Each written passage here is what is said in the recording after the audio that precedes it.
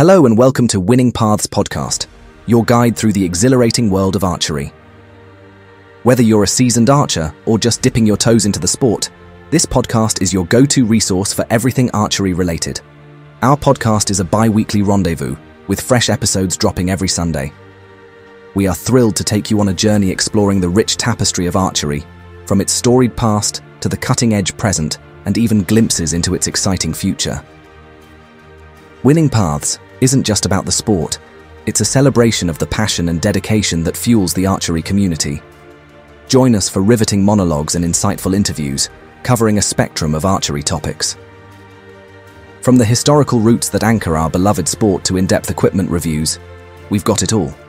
Expect fascinating tidbits, little known facts, and explorations of archery's role in historical and sociological contexts.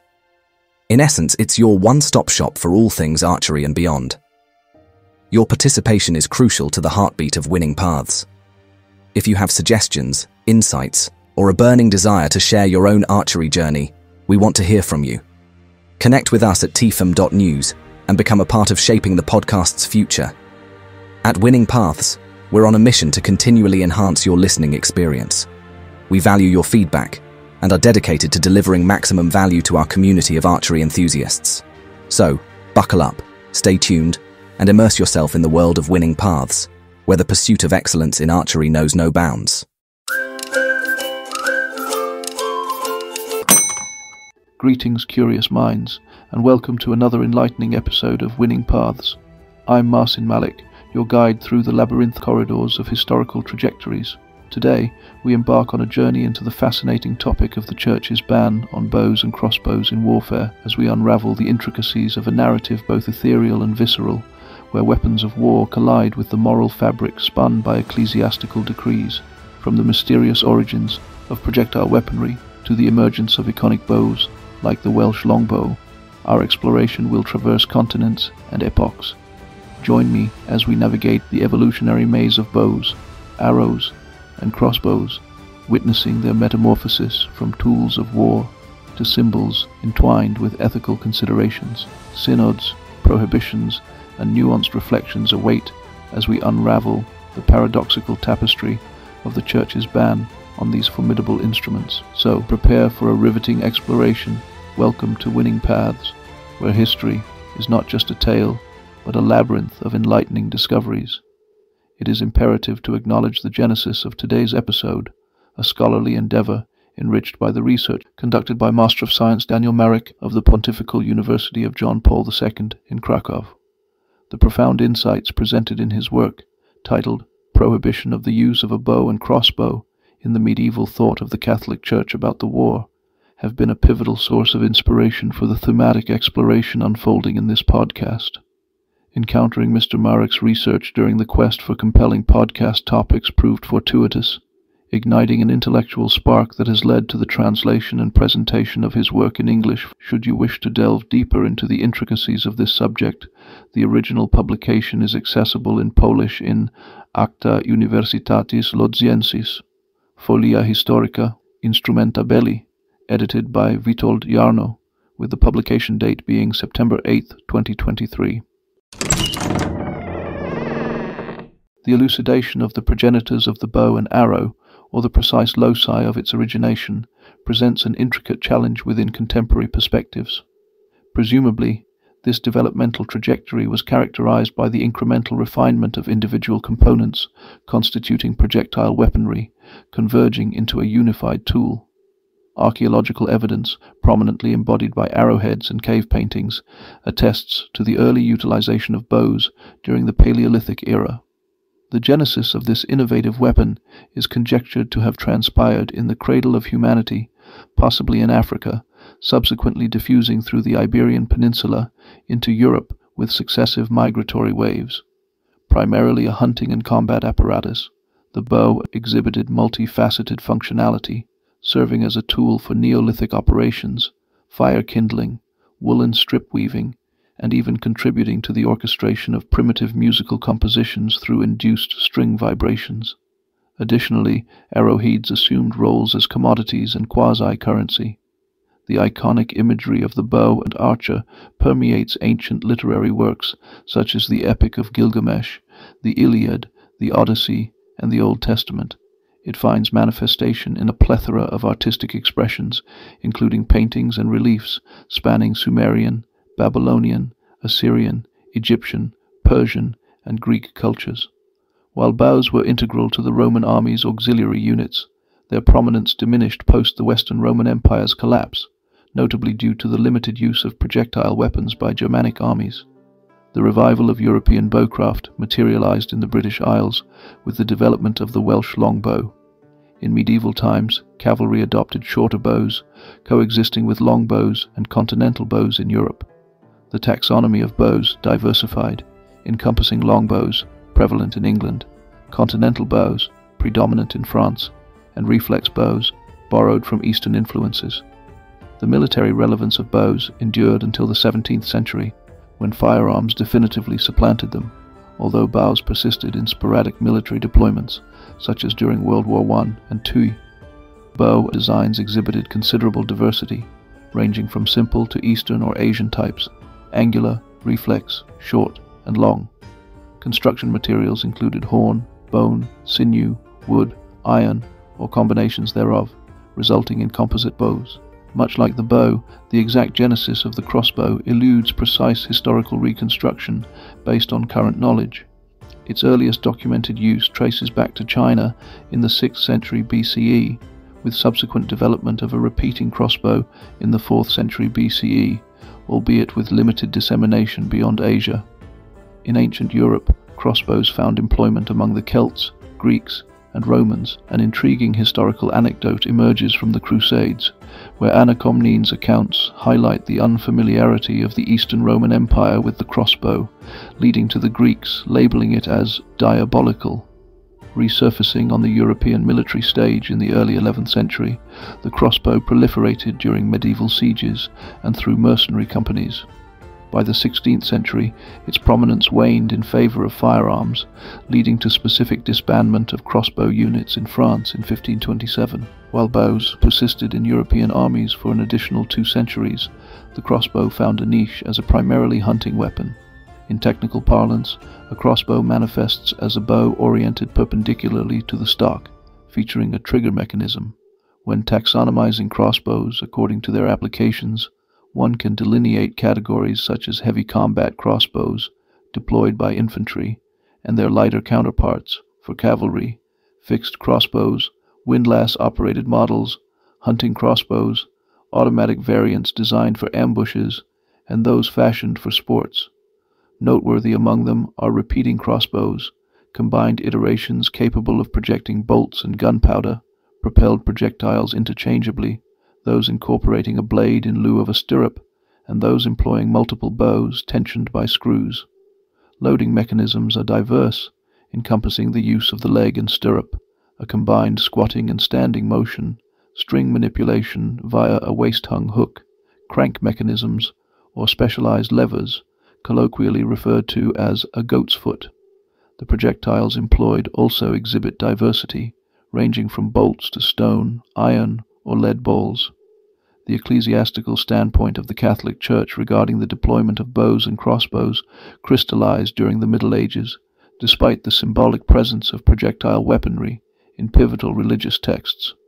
References to the use of bows and arrows span from the book of Genesis 21:20, 27:3 to the book of Revelation 6:2 within the Holy Scripture, predominantly portraying the bow as a formidable instrument of war and a tool for execution.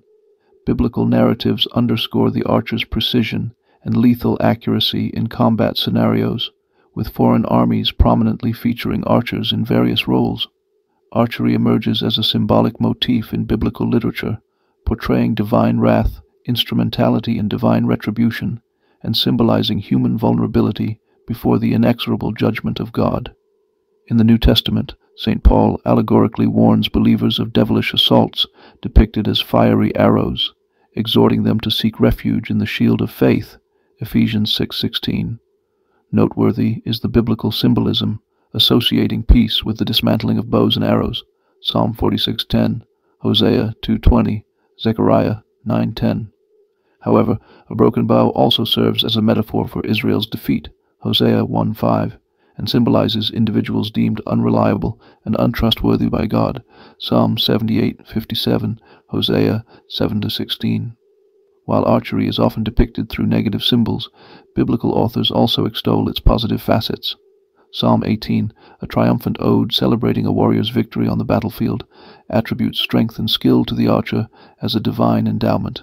Psalm 127 metaphorically illustrates the blessing of abundant offspring through the contentment of an archer with a quiver full of arrows. Psalm 127 3 5. Several passages underscore that the archer symbolizes not only skill and the capacity to instill fear, but also courage and valor, as evident in Isaiah's portrayal of the servant of the Lord as a sharpened arrow concealed in God's quiver, Isaiah 49:2. In the annals of ancient Middle Eastern literature, a distinctive divine parallelism was attributed to virtually every human weapon, with the bow assuming a transcendent significance beyond its role as a mere armament employed by deities such as Montu, Ashur, Apollo, Artemis, and Eros, as well as various mythical heroes, the bow and arrow held a prominent position across diverse cultural landscapes, spanning from Mesopotamia to Greece. The Bible, replete with references to God's arrows, similarly embedded this celestial armament within its narrative fabric. Rooted in a pre scientific worldview, the conceptualization of inexplicable phenomena was intricately woven into an ethereal tapestry that mirrored the observable reality. The righteous were envisioned as combatants engaged in a spiritual struggle, wherein imperceptible weapons wielded by higher powers manifested their effects in the corporeal realm. In this paradigm, the arrow emerged as a poignant emblem of divine intervention in the physical world, distinguishing itself from other weapons through its characteristic attributes of long-range precision, swiftness, stealth, and seemingly capricious trajectories, rendering it not only a feared instrument in the visible domain, but also the quintessential symbol of divine justice. The ancient ecclesiastical perspective on the bow, akin to other weapons, relegated it to a role utilized relatively infrequently, with more nuanced reflections on war and its implements crystallizing in the medieval period. The Church, since antiquity, grappled with the reconciliation of the soldier's profession with the ethical precepts encapsulated in the Fifth Commandment. The moral impurity associated with military service found expression in rigorous penitential practices, wherein participants, irrespective of the justness of their cause, underwent public penance post every battle, at least until the eleventh century. As the concept of a just war matured, the ecclesiastical perspective evolved, albeit with the prohibition of the clergy engaging in military service persisting, thereby maintaining an element of moral ambiguity. Notably, early medieval penitential literature failed to differentiate the bow and crossbow, with records limited to their purported use in magical contexts. It wasn't until the 11th century that a discernible shift in the treatment of projectile weapons is evident. The Synod of Winchester in 1076 marked a turning point by stipulating penance for combatants, wherein the gravity of transgressions determined the duration and nature of penitential acts. Archers were prescribed a distinct penance regimen, attesting to a nascent differentiation within ecclesiastical discourse. Subsequently, the Lateran Synod in 1097, under Pope Urban II, instituted a prohibition specifically against the use of crossbows on fellow Christians. This prohibition, encompassing bows as well, was formalized in the canon of the Second Lateran Council in 1139, unequivocally condemning the deadly and God-hateful art of crossbows and archery in conflicts involving Christians and Catholics. While absent from Gratian's decree, the prohibition found resonance in the decretals of Gregory IX, compiled in 1234 by Raymond of Peñafort, a preeminent medieval jurist, thus underscoring its enduring canonical significance within the Corpus Juris Canonici. The verbatim expression of Canon 29 ostensibly conveys a definitive stance, yet in practical terms, its implementation would have portended the near extinction of archer and crossbowman formations within medieval armies. However, historical evidence belies this purported obsolescence. Archers constituted integral components of European military forces from their inception, a status unaltered by the provisions of the 1139 Council. In England, their prominence burgeoned from the mid 13th century, accentuated by the advent of the Welsh longbow, injecting newfound vigour into projectile weaponry. By the denouement of Edward Thurn's rule, archers constituted a preponderant faction within his infantry. The statute of Richard II in 1389 exemplifies this ascendancy, proscribing servants and labourers from recreational pursuits on Sundays and holidays, redirecting their focus toward archery practice. A parallel injunction was promulgated in 1384 by Charles VI, enjoining individuals to devote their leisure to archery and crossbow proficiency, though this directive proved evanescent in the face of organized resistance. A comparable resilience characterized the crossbow, popularized by Richard the Lionheart in France circa 1185, an instrument paradoxically implicated in his demise during the 1199 siege of Châlus-Chabrol. From the late 12th century, crossbows proliferated across diverse troop categories land and naval forces, infantry, and cavalry, particularly in sieges and southern European campaigns. Historical records attest to their widespread adoption, with notable instances such as Raymond Sevem, Count of Provence, offering the Pope a contingent comprising 40 knights and 10 mounted crossbowmen in 1239. Notable commanders, including Frederick II and John Lackland, enlisted crossbowmen in their campaigns, underscoring the weapon's ubiquity. Archival records from the 13th century enumerate an inventory in the Capetian domain comprising 266,000 arrows and 278 crossbows of diverse materials and mechanisms. The 1250 garrison of Safed in the Holy Land boasted 300 crossbowmen. Crossbows experienced continuous refinement, evidenced by the advent of pavise shields to mitigate prolonged reloading times.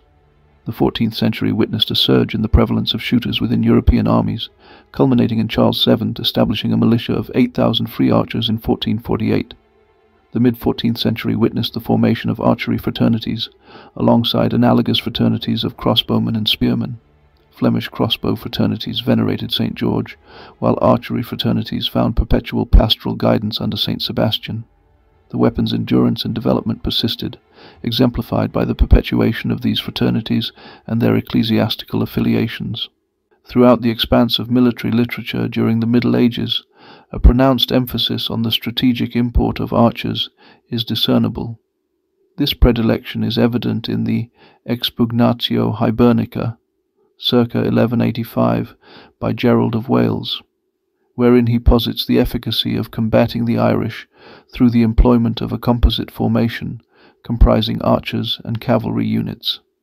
Similarly, the Liber Recuperationis Terrae Sanctae of Fidencius of Padua advocates the recruitment of units armed with bows and crossbows for engagements against the Saracens.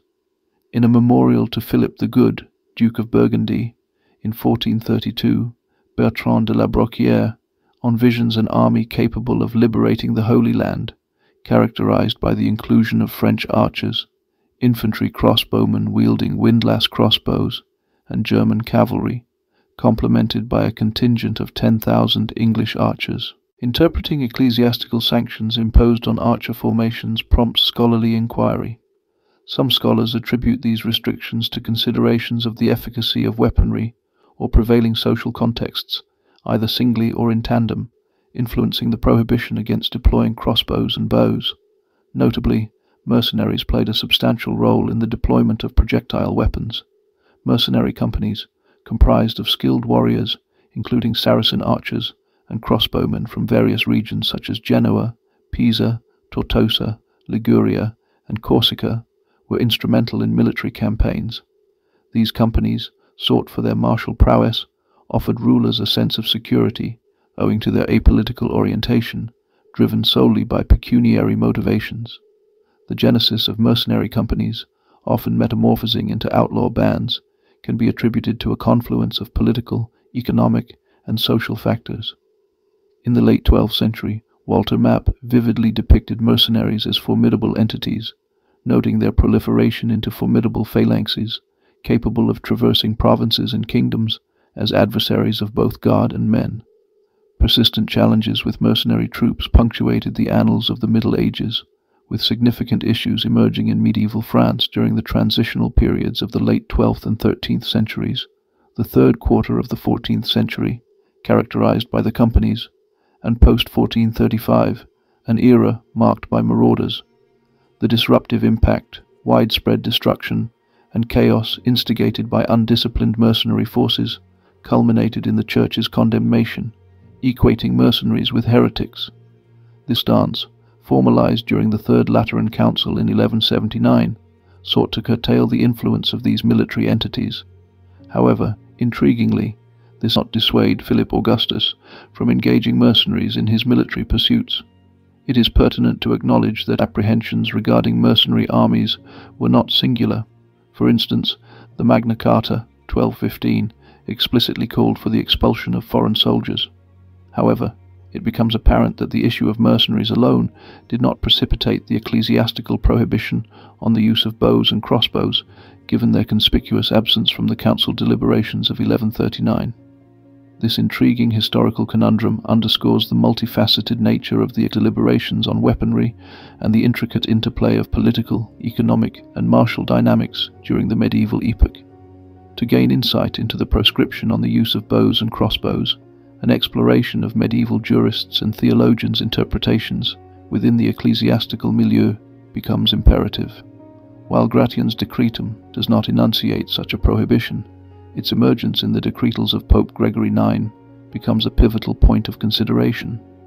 The medieval construal of Canon 29 of the Lateran Council, crucially, permitted the use of projectile weapons in conflicts against heretics and infidels.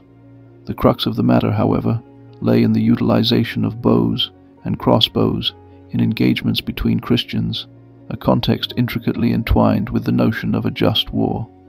Distinguished ecclesiastical figures, including Richard the Anglican, Damasus, Raymond of Peñafort, and John of God, propounded interpretations underscoring the literal application of the prohibition, extending even to just wars.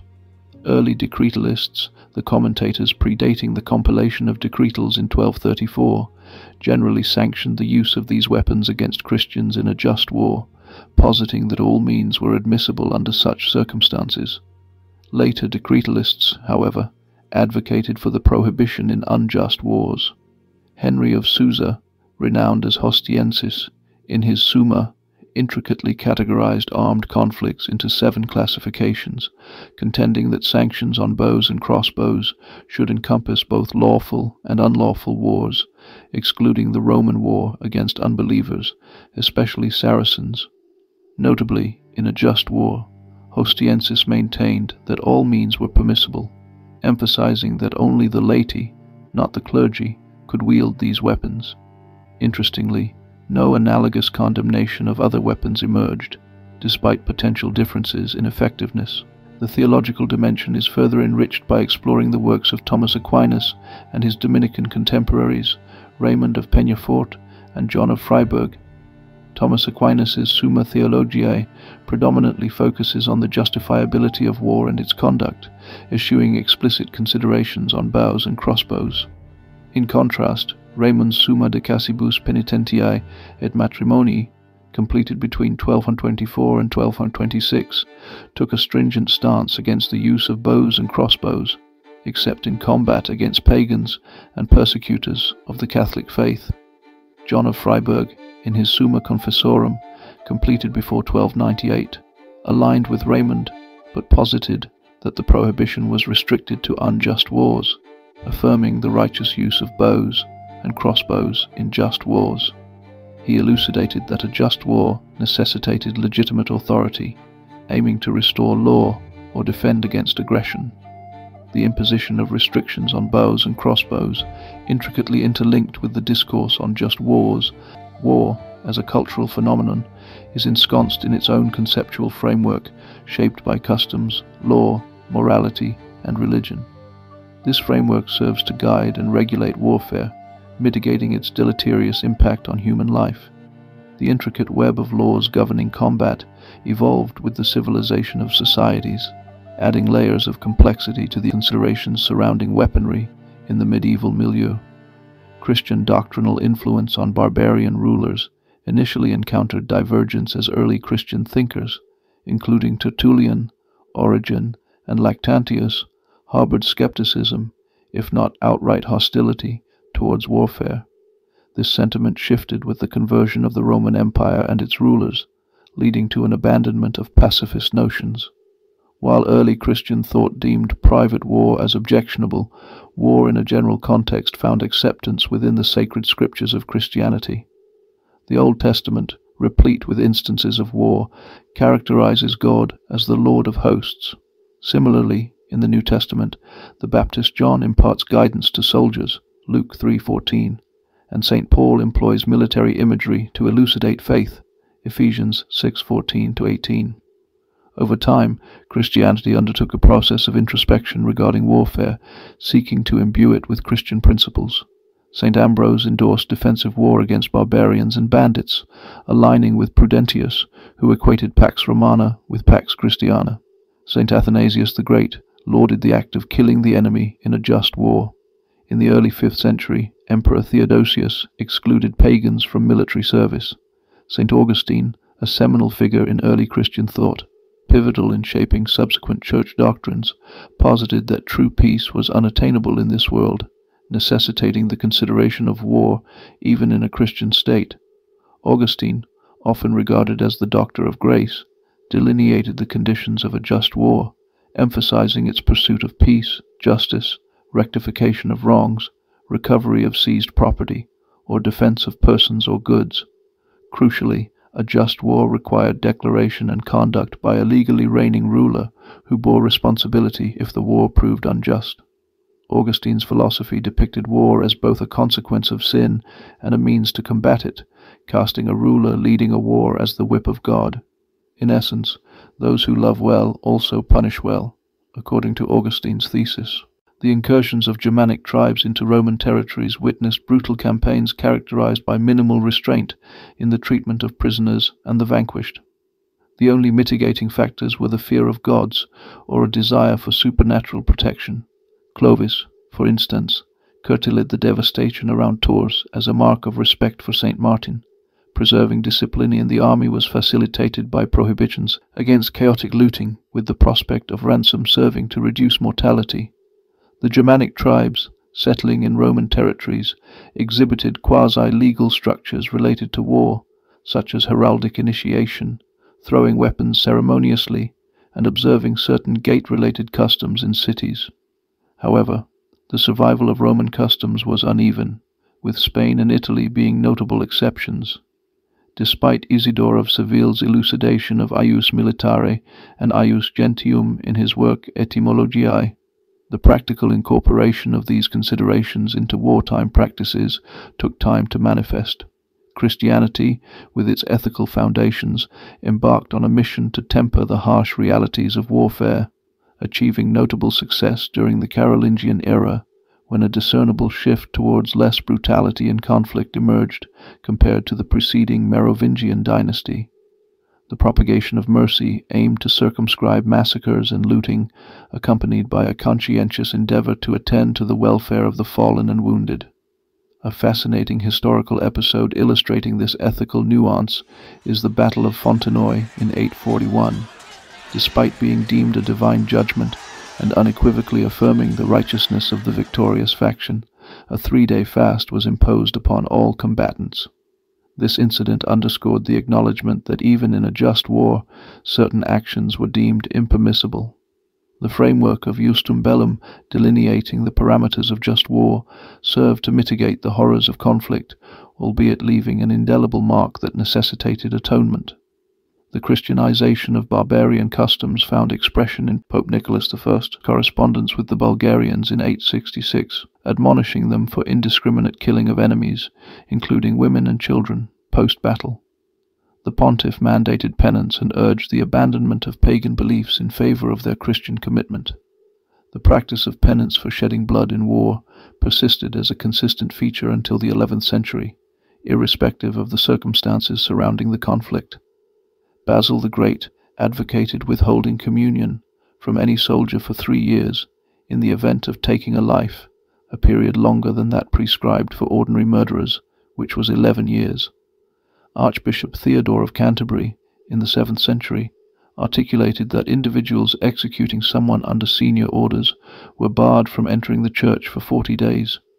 Similar stipulations were evident in Anglo-Saxon penitential rituals, where Bede's penitential ritual recommended 40 days of fasting, a sentiment echoed in penitentials from the 8th and 10th centuries. The Arundel penitential, dating to the late 10th century, reverted to a three-year fasting regimen, while Fulbert of Chartres in the early 11th century proposed a penance period of one year. Burchard of Worms, in his seminal work Corrector Sive Medicus, stipulated a three-year penance for participants in a just war. Over time, a nuanced distinction emerged in penitentials between killing in a just war and an unjust one, with participants in the latter held accountable as if committing murder. The perspective of St. Augustine, who initially justified all soldiers fighting for an unjust cause based on obedience, gradually waned. Instead, the evolving ethos necessitated fighters, either individually or with the guidance of a confessor, to meticulously discern the justness of their actions in the theatre of war. There existed a doctrinal perspective asserting that penance need not be imposed upon those engaged in just wars.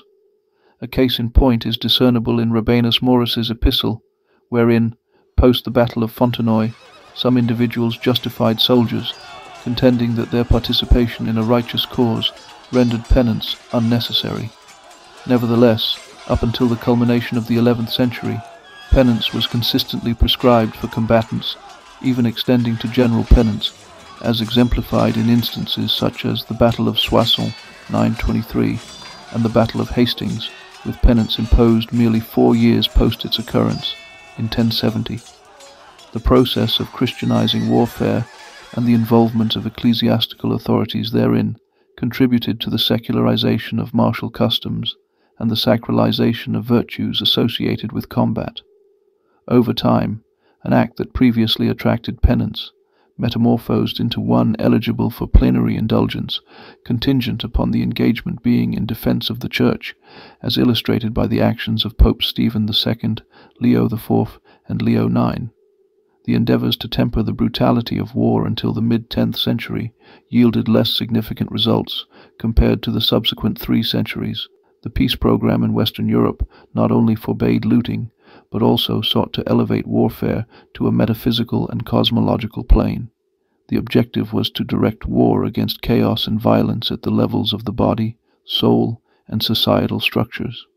In the medieval epoch, the Western Church's approach to the matter of war unfolded in three discernible stages. The first phase, 10th 11th century, was marked by a struggle against violence through diverse peace movements, peace and truce of God, leagues of peace.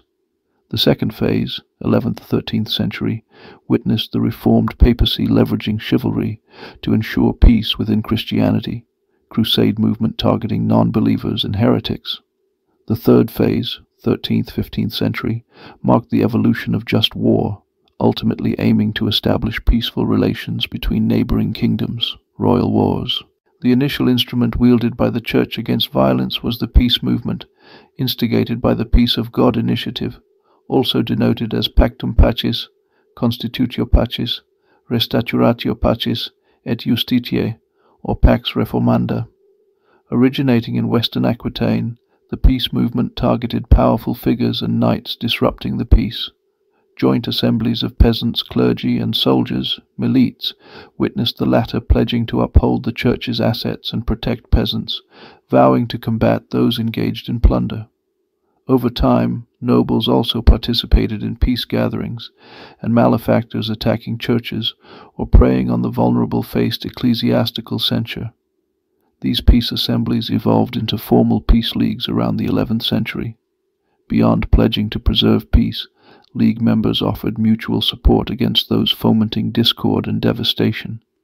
In 1038, Bishop Aymon of Bourges mandated every able-bodied man above fifteen to resist those disturbing the peace, even resorting to arms if necessary. The overarching objective of peace leagues encompassed curbing everyday violence, extortion, illicit fines, plunder, and raids, as well as constraining private wars, werra.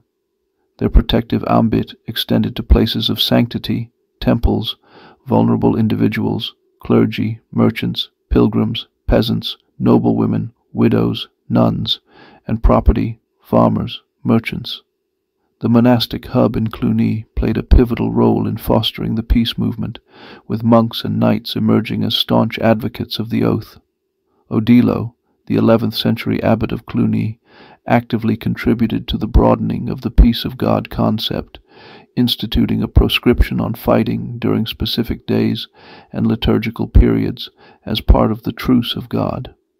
The Truce of God made its inaugural appearance at the Synod in Toulouse in 1027, instituting a mandated cessation of all hostilities within a delineated region from 9 p.m. on Saturday until prime on Monday. Evolving over time, the observance of the Truce of God expanded its reach to encompass regions such as Provence, Italy, Aquitaine, Burgundy, and Normandy. Concurrently, a more extended period of peace was defined, stretching from Vespers on Wednesday to sunrise on Monday. Under the stewardship of Popes Nicholas II and Urban II, concerted efforts were undertaken to extend this peace initiative to encompass all of Christianity. Simultaneously, new periods of abstention from warfare were introduced, including Advent, the Christmas season, Lent, the Easter season, the duration between the cross days, and the octave of Pentecost, three Marian feasts with their vigils, and numerous individual saints' feasts. Importantly, the truce of God did not prescribe wars defined by the concept of bellum. According to the prevailing stance among canonists and theologians, a just war faced no restrictions, with Aquinas himself asserting the permissibility of combat on the most solemn days, a view not universally shared, as evidenced by Rufinus, Summa Decretorum. The peace movement, rooted in the framework of chivalry, emerged as a response to the relative weakness of central authority. Concurrently, the Church endeavored to shape the ethos of the knightly calling. The life of St. Gerald of Aurillac, as chronicled by Abbot Odo in 930, exemplified the possibility of a knight attaining holiness elevating combat to a spiritual and salvific value for soldiers. Anselm of Lucca underscored that a soldier could lead a righteous life, while Bonizo of Sutri, in the Liber de Vita Christiana, 11th century, delineated the duties of chivalry, emphasizing loyalty to one's lord, refraining from plunder, combating heretics and schismatics, defending the vulnerable, and upholding one's word.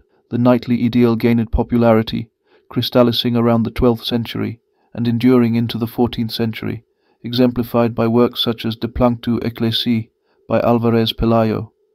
In the crucible of battle, a Christian warrior was expected to embody virtue, setting himself apart from the pagan warrior driven by unbridled frenzy. This overarching trend, seeking to imbue knighthood with spiritual significance and Christianize its ethos, aligned with the Gregorian reform spearheaded by Pope Gregory VII.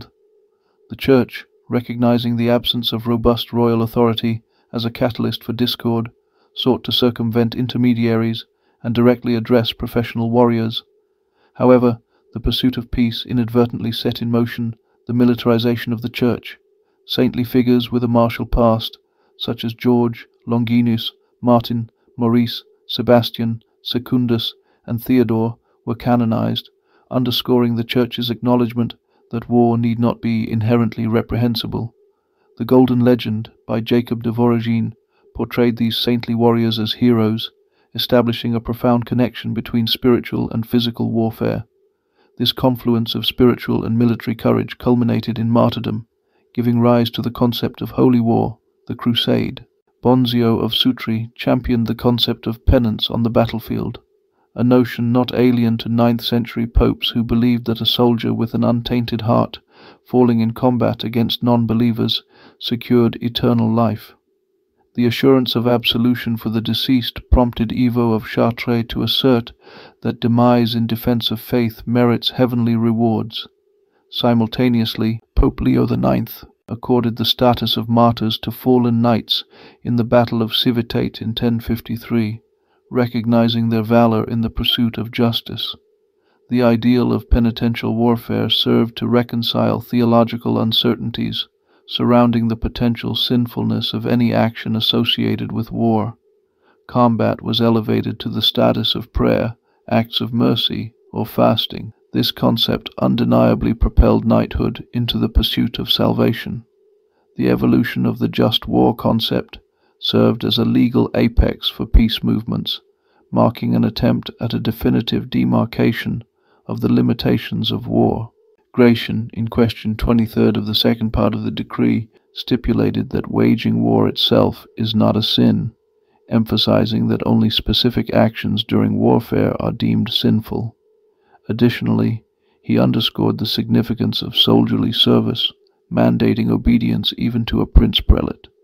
A just war, as per Gratian, required declaration by a legitimate ruler, defensive or aimed at reclaiming stolen goods, and explicit exclusion of clergy participation.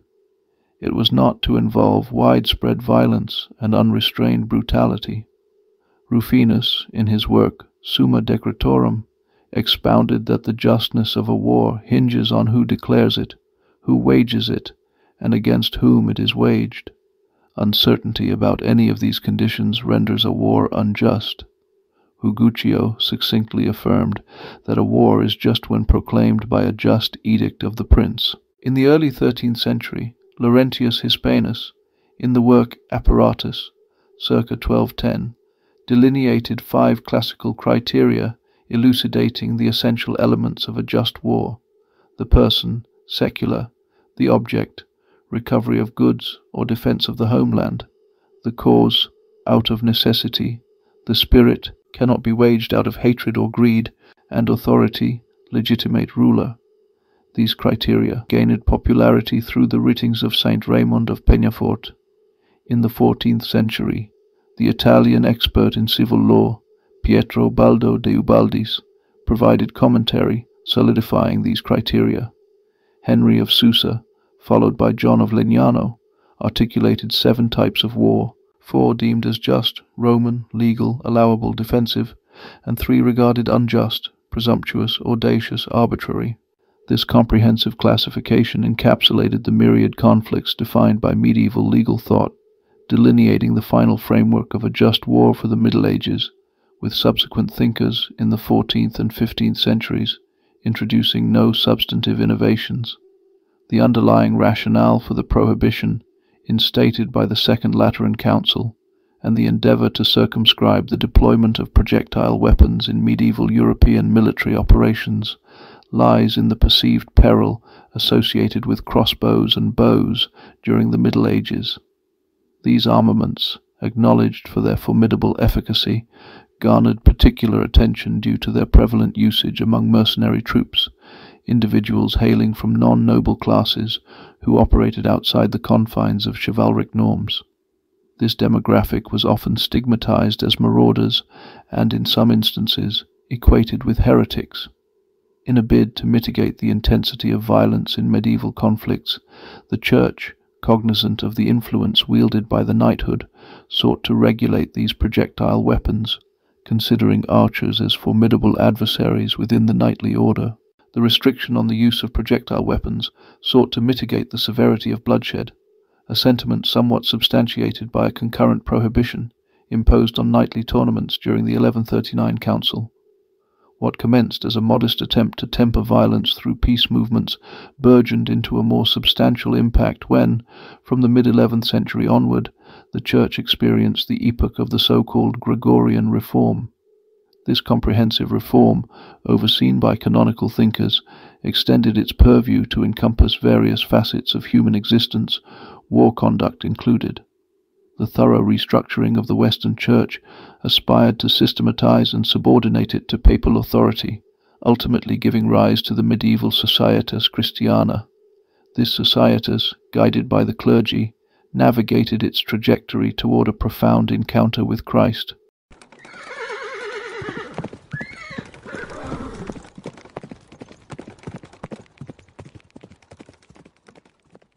Well, friends, congratulations on your endurance, for you have persevered with me to the end of this fascinating journey through the annals of bow and crossbow history. I extend my heartfelt gratitude for embarking on this scholarly sojourn with the Winning Paths podcast. Today's episode has transported us across epochs and cultures, unveiling the multifaceted roles of these iconic weapons. Your discerning ears have indulged in the nuances of projectile weaponry, from the Paleolithic prowess of bows to the intricacies of crossbow mechanics. Together, we've navigated through biblical symbolism, medieval military formations, and even delved into the complexities of ecclesiastical perspectives on warfare. As we gently release the bowstring of this episode, I implore you to linger a moment longer in our auditory realm. Your support fuels our intellectual journey, and we invite you to stay tuned for more captivating explorations into the realms of history, culture, and academia. Be sure to follow, subscribe, and share the Winning Paths podcast with fellow seekers of knowledge. In the spirit of anticipation, for aficionados of historical narratives, I extend an earnest invitation to immerse yourselves in the forthcoming series of scholarly episodes. The inaugural installment, Battle of Crécy, 1346, a comparative analysis of archery and crossbow tactics, is scheduled to be inaugurated into our repository on the Christmas Eve, 24 December. Subsequently, on the cusp of 31st December, we shall delve into the intricacies of the historical tapestry with the episode titled Upon St. Crispin's Day, a chronicle of historical significance. Lastly, on 7th of January 2024, our podcast will unveil the absorbing account titled The Tale of the Virgin of Orleans, an examination of historical narratives. Evidently, this sequence of episodes will compose a succinct but comprehensive mini-series, explaining the nuanced events and dynamics characterizing the epoch of the 100 Years' War. Prepare to be intellectually invigorated as we meticulously dissect historical events with academic rigor, bridging the chasm between erudition and entertainment. Oh, and don't forget about this Sunday episode on myths, legends, ghostly archers, aliens, and God only knows what else. See you all at the range.